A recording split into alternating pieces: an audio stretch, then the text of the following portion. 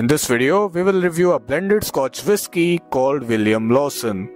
This brand was created in 1849 and its manufacturer is Bacardi.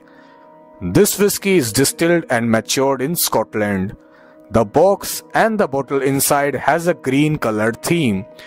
Now this glass bottle is 750 ml and just like a typical scotch, its alcohol strength percentage is 42.8.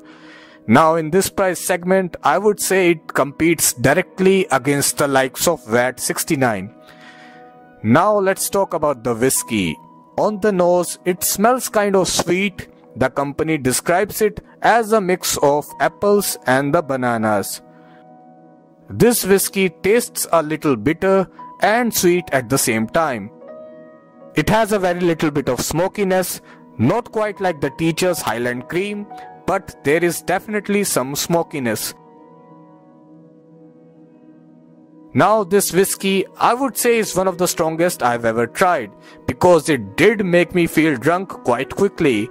Almost the same effect like the VAT 69. So if you want to get a little drunk then this whiskey is absolutely the one for you. It is cheaper than the black and white, Dewar's and other famous scotch whiskies. So it is definitely a value for money without doubt. This is a whiskey with very high malt content and about the aging there is no statement from the company but we can safely assume that it is at least 6 years old. Like I said before if you want to feel relaxed, if you want to get drunk, then this indeed is the whiskey for you.